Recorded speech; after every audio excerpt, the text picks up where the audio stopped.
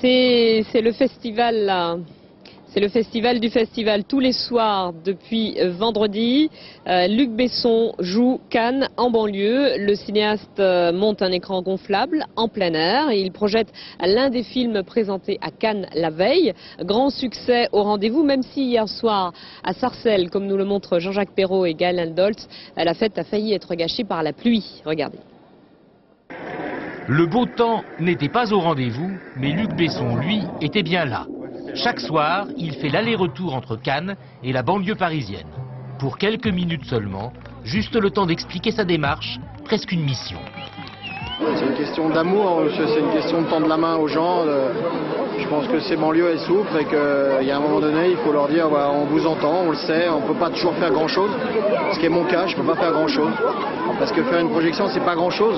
Cette initiative, elle nous montre que l'accès à la culture est vraiment pour tous. Le Festival de Cannes, quand on parle à un jeune des quartiers, enfin, je sais que moi, mon public, ça les interpelle pas, ça les intéresse pas. Mais aujourd'hui, ils sont là.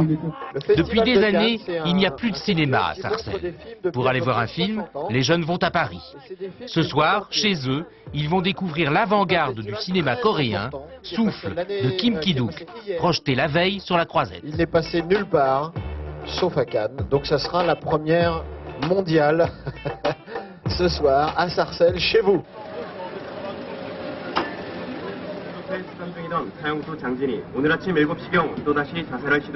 Il y a des gens qui vont euh, souvent à Cannes, et nous, on n'a pas les moyens pour aller jusqu'au là-bas. Eh ben, si ça vient ici, ça fait plaisir. des choses qu'ils voyaient à la télé en disant c'est inaccessible pour nous, eh bien ces choses-là viennent les voir dans leur quartier et ça, ça les met en valeur et c'est important.